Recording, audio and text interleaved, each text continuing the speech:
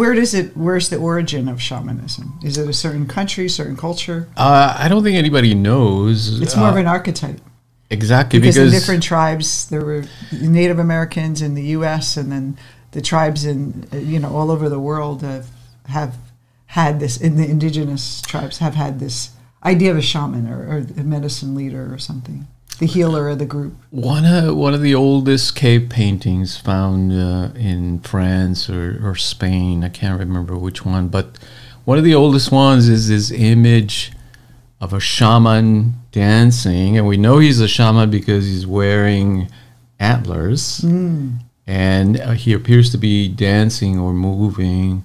Uh, like the animal, and that that's one of the characteristics of the shaman, uh, that connection with nature and animal life, uh, and so it goes back to our ancient prehistory.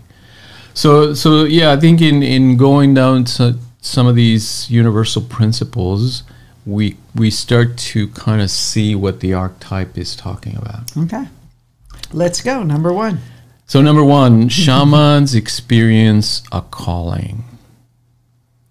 Ah, so it's kind of like a coach, even you know, a coach or a therapist or healer. You have this calling to help others, and they, it's kind of um, every story, like origin story of s- these great, uh, even people that are modern gurus. They always have this story where they have a calling. You know, they have a wake up call. Is that is that what you're saying? They kind of feel it's not. It finds the calling finds them. They don't just decide. Oh, I want to be. A, I want to be a coach. like people that don't come to us to be a coach because they decide. Oh, that looks like a good, good. You know, I, I should do that. That's just an option for a, a career. It's like they have a calling. It's that kind of um, inner awakening of something deep within them. Right. Um, that idea of it chooses you, you don't really choose it. That's And you what- resist it.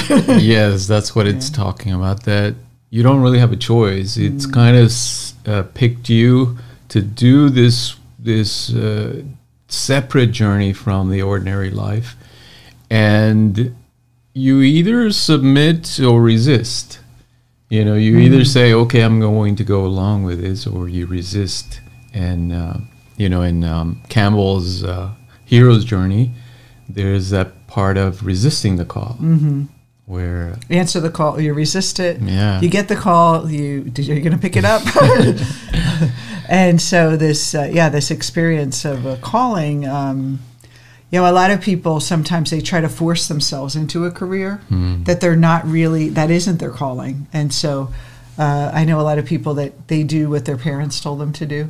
Be a doctor, be a lawyer, be a uh, be you know accountant and do what I did and, and or get a job at the factory or do you know the things that I did and this is what works.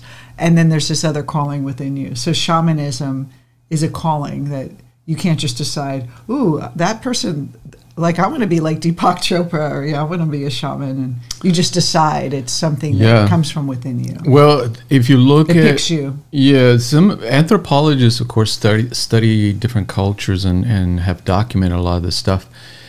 What they find is often eh, there's an illness, there's a, a type of uh, madness that uh, befalls the person, why are you looking at me? And uh, they go through that dark night of the soul. Uh, sometimes very early, as children, they start to hear voices. They, they experience something out of the ordinary that's that signals them out as, oh, this person is not meant to be just part of the everyday tribe, but is um, is going to be trained by the shamans in the tribe.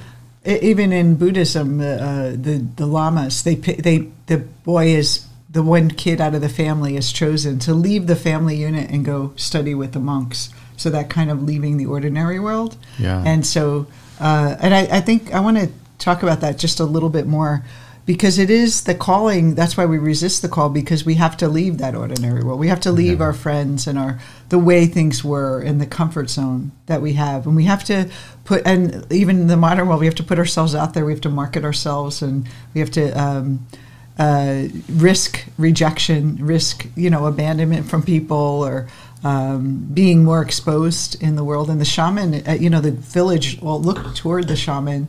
It was a big responsibility. To when is it the rain going to come? When is a good time to plant the crops? Someone's sick, you got to save them. And there was like kind of like that responsibility that you have to take on